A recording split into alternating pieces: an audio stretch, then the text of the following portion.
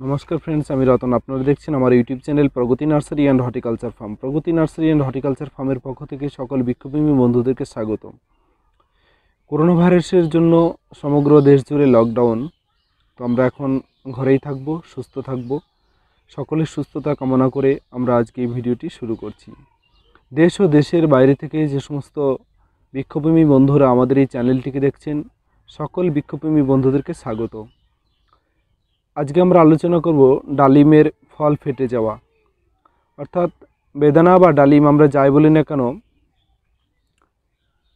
সাধারণত ইরাক ও ইরান থেকে যে যে ডালিমগুলো আমাদের দেশে এসছে বা যে জাতগুলো, যে ভ্যারাইটিগুলো আমাদের দেশে এসছে, তাকে সাধারণত বেদানা বলা হয়। অর্থাৎ ডালিম কিংবা বেদানা আমরা যাই বলি না কেন, দুটোই এক। তো আমরা এই বেদানা ফল প্রচুর ধরে, প্রচুর হওয়ার পরেও ফেটে যায়। বাগানের বিশেষ একটি অংশ ক্ষতিগ্রস্ত হয়। বা কিছু করার না থাকলেও এই ফলগুলো মানে অপরিপক্ক অবস্থাতেই ফেটে যাওয়ার ফলে আমরা কিন্তু এই ফলগুলো গ্রহণযোগ্য করতে পারি না বা খেতে পারি না। যে ফলগুলো ফেটে যায়, সেগুলো পেকে যাওয়ার আগেতেই ফেটে যায়। তো এই অবস্থাতে আমরা এখন কি করতে পারব, সে বিষয়টি নিয়ে আজকে আমরা আলোচনা করছি। তো বন্ধুরা, ডালিমের ফল ফেটে যাওয়া একটি মারাত্মক এবং ভয়ঙ্কর রোগ। এই ফল ফেটে যাওয়া রোগের বিশেষ কোনো চিকিৎসা নেই। বাগানের অধিকাংশ ফল এই ফেটে যাওয়া থেকেই নষ্ট হয়ে যায়। আমরা খুব ভালো জাতের ফল লাগালেও আমাদের ভুলের জন্য এই ফল ফেটে যাওয়ার প্রবণতা থাকবে। তো আমরা কীভাবে কি সার প্রয়োগ করলে এই ফল ফেটে যাওয়ার বললাম একটু আগে যে কোনো রকম সুরহা নেই বা ফল ফেটে যাওয়ার খুব ভালো চিকিৎসা নেই। তবু আমরা আমাদের ভুল হয়, কিছু ভুলের জন্য আমরা এই ডালিমের ফলগুলো কিন্তু ফেটে যায়। আমরা যদি এই ভুলগুলো না করি, তাহলে কিন্তু আমাদের ফল ফেটে যাওয়া হাত থেকে আমরা আমাদের গাছকে বাঁচাতে পারব।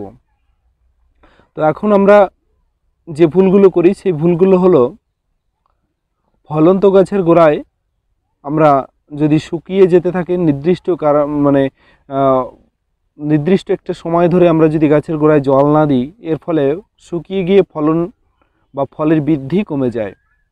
আর বাইরের যে শুকনো ওয়েদার বা আপনার শুকিয়ে একটা রোদ বা একটা গরমের যে ভাব, এর ফলে ফলের উপরের যে আপনার খোসা, এই খোসাটা নরম হয়ে যায়। এই খোসা নরম হয়ে যাওয়া এবং ভিতরে ফল ছোট হয়ে যাওয়া, এটা দীর্ঘদিন গাছের গোড়ায় অনিয়মিত জল বা জল না থাকার কারণে হয়। এই অবস্থায় হঠাৎ করে যদি আপনি বাগানে বেশি পরিমাণে জল ঢুকিয়ে দেন বা আপনি সেচ দেন কিংবা আপনি বৃষ্টির জল, দুদিন তিন দিন বৃষ্টির জল পেয়ে গেল, বৃষ্টির জল পেয়ে গেলেই আপনার প্রবলেমটি হবে। অর্থাৎ এই যে দীর্ঘদিন একটা বাগানে জল পাচ্ছে না, বৃষ্টি হয়নি, একটা ফলের একটা স্থিতিশীল পরিস্থিতিতে আসার পরে হঠাৎ করে যখন অতিরিক্ত পরিমাণে সেচ বা বৃষ্টির জল পাবে, এই বৃষ্টির জল পাওয়ার ফলে ফলটা হঠাৎ করে ও বৃদ্ধিও হতে শুরু করবে। বৃদ্ধি হতে শুরু করলে সঙ্গে সঙ্গে আপনার এই ফলটা কিন্তু উপরের যে খোসাটা, এই খোসাটা নরম ছিল, এই নরম খোসাটা কিন্তু ফেটে যাওয়ার সম্ভাবনা থাকবে। তো এখন এই জায়গাটাতে আমাদের চিন্তার বিষয় যে আমরা কীভাবে জল দেব বা জল দেওয়ার উপরে নির্ভর করবে কি ধরনের সার বা সেচ কার্য আমরা চালাবো। এই সার বা সেচ কার্যের উপরেই কিন্তু আমাদের ফল ফাটা রোধ করবে। তো আমরা কিছু করতেই পারি এই গাছের ফল ফাটার জন্য।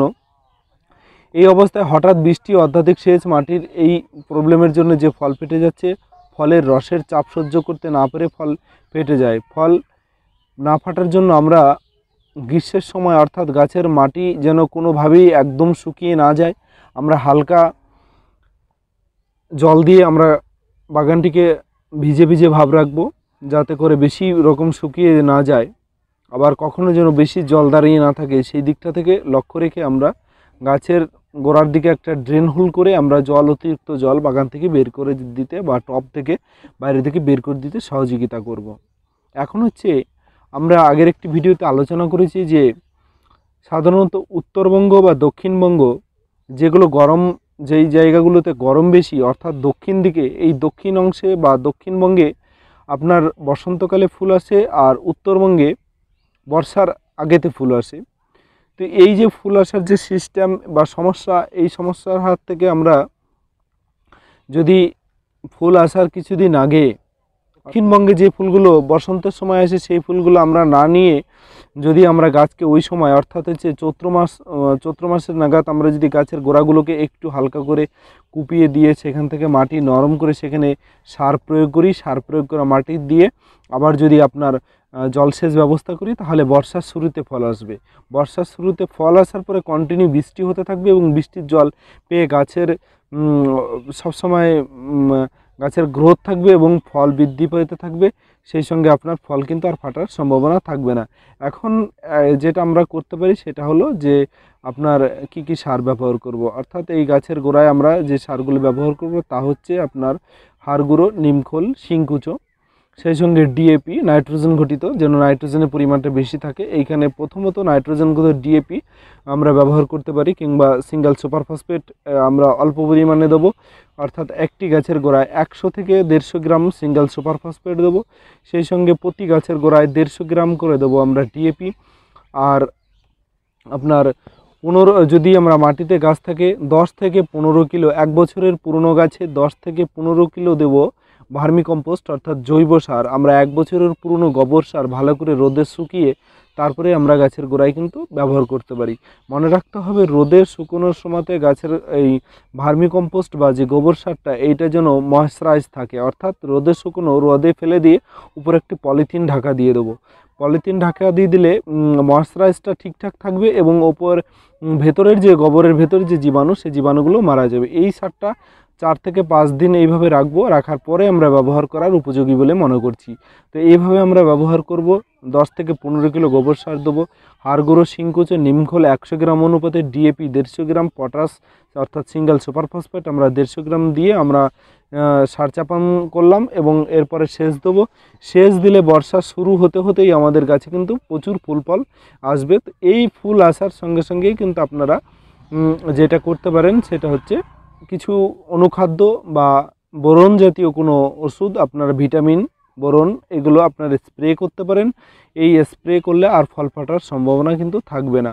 ফল ফাটার সম্ভাবনা না থাকলেই চাষি সেই দিক থেকে লাভবান হবেন এবং হচ্ছে আমরা যারা খাবার জন্য দুটো চারটে বেদানা গাছ বা ডালিম গাছ বাড়িতে লাগিয়েছি তাদের ফলেরও কোনো সমস্যা হবে না, অর্থাৎ আমাদের আশানুরূপ আমরা ফল পাবো। তো বন্ধুরা, এই পর্যন্ত আমরা এই ভিডিওটি শেষ করছি। পরবর্তী ভিডিও দেখবার জন্য স্বাগত। আমাদের চ্যানেলটিকে যদি সাবস্ক্রাইব না করে থাকেন, আমাদের চ্যানেলটিকে অবশ্যই সাবস্ক্রাইব করবেন এবং পরবর্তী ভিডিওগুলো দেখবার জন্য অনুরোধ রইল। ধন্যবাদ, সকলে ভালো থাকবেন। আপনাদের গাছগুলোকেও ভালো রাখবেন।